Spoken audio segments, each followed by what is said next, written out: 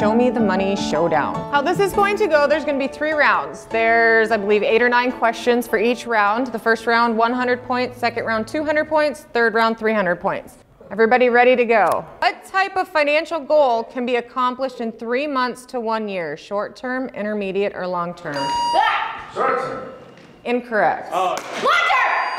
Incorrect.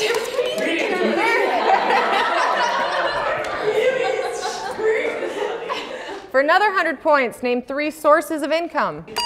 Job. Okay, there's one. Uh, scholarships. Two scholarships. Gifts. Gifts. Gifts. I will go with gifts. This is worth 500 points. You need to use your boards, don't use your buttons. What four taxes are deducted from a payroll check?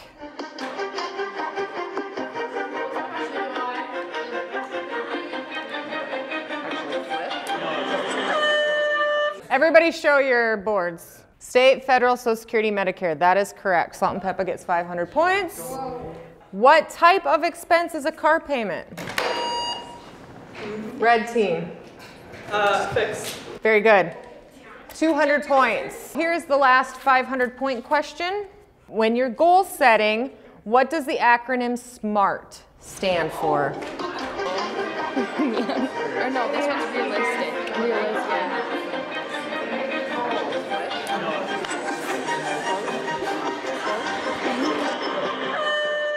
I'm going to give you 400 points for that. With 2,700 points, our spenders at 1,600 and salt and pepper at 1,700.